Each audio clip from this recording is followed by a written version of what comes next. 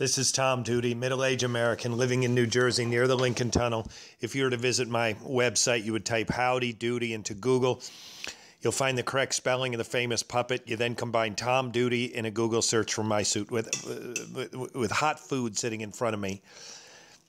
Angry about the recent news conference with Gloria Allred and, and the fifth accuser of Roy Moore fresh on my mind I am outraged. I'm also going to say a few words in favor, um, in defense of Woody Allen. And I'm also going to attempt to navigate the space between sexual prospecting and sexual harassment. Unscripted, angry, here I go. To Steve Bannon and Ann Coulter and President Trump, you know, pull your support for Roy Moore now and or do it later.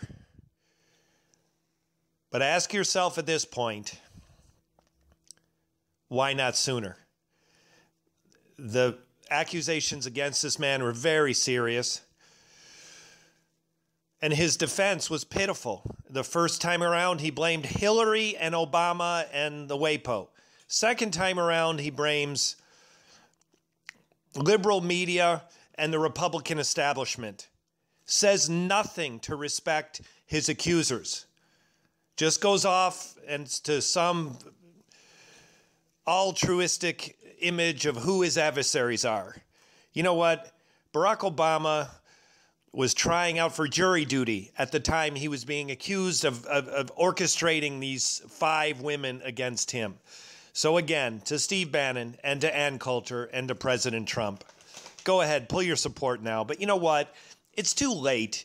You've already made your claim as being idiots, unable to make a decision for yourself about what Roy Moore is. He doesn't belong in leadership positions in Alabama and certainly not in the federal uh, nation. No, no less or more Alabama. He doesn't belong in a leadership position. This man's disrespect of girls and furthermore, the disrespect of his accusers. There is no excuse. Steve Bannon Ann Coulter, President Trump, you are wrong to not have denounced this man sooner.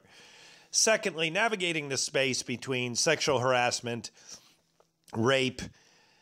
In theory, we know when it's a crime, it involves rape. Women are physically hurt in the process, and then there's a lot of stuff that fall into this not so obvious category. I have seen a lot of these accusations that, in my opinion, are men prospecting for sex in a really bad way. Herman Cain, when he was accused during a campaign a couple of years ago, uh, uh, he's a black man and a white woman said, you know, this hotel room was set up and he made advancements on her. And, you know, I thought, okay, he said he relented when she said no and this was a man trying to get laid. He didn't do it very well, and whenever someone gets denied, it's pretty clumsy. However, it wasn't a workplace. It seemed excusable by my uh, assessment.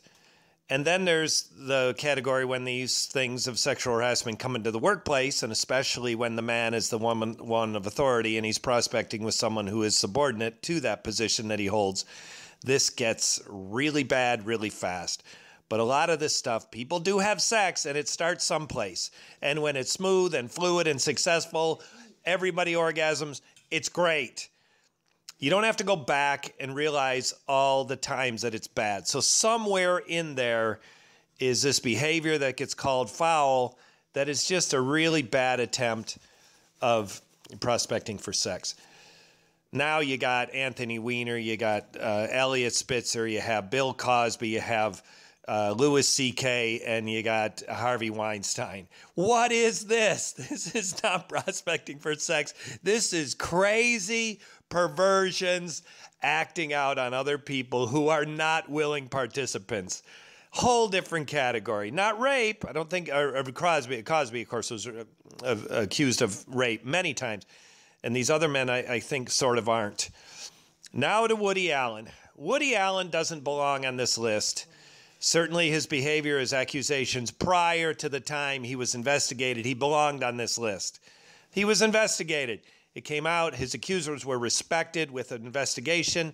They ended up deciding not to prosecute. We don't, many people don't like the fact that OJ got acquitted, but he got uh, suspected. He was um, indicted. He was prosecuted and found not guilty.